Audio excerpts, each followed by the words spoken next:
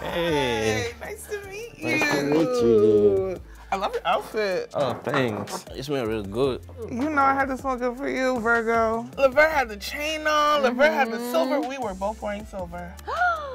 and he was so cute. And the way he looked me up and down, I said, He looked you up and down. he did twice. Twice.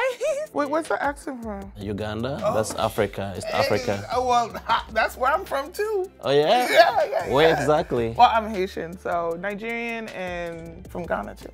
Oh, wow. Mm-hmm. So when I heard his accent, I was like, I love accents. Speak to me whatever language you need.